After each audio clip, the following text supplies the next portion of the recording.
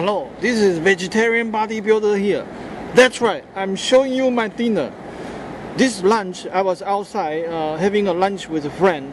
And you know, when you go out in a restaurant, go to the food court, literally everything is junk. There's nothing you can eat that's healthy and lean.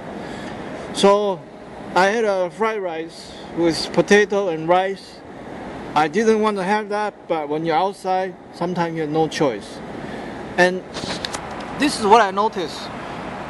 When you have so much rice in your system, you don't feel hungry for very long time. And this is not good because it slows down your metabolism.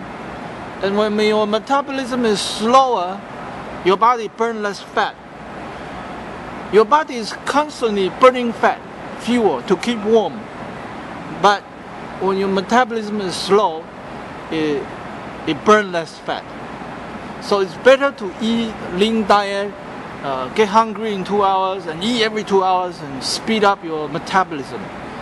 And uh, don't want your body to be slow and then store all this, all this uh, starch, uh, rice, or bread or white bread into your system. So this is my uh, my dinner, and as you can see, this is four bean salad. And this one is a coconut uh, tofu uh, dessert.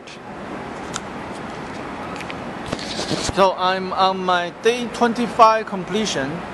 Uh, no, day 26 completion. That's right. It's very exciting. And today is the opening of the new James Bond movie. So I want to tell everyone a James Bond uh, joke. So one day, uh, James Bond and uh, the chicken is walking across the street. And the chicken asks James, say, hey, how you doing? What's your name?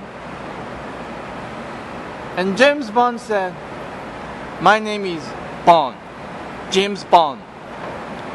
And the chicken said, my name is Ken, Chicken. So, that's the James Bond joke. This is vegetarian bodybuilder on my day 26 completion. I'm looking forward to see you tomorrow. May you have an incredible day.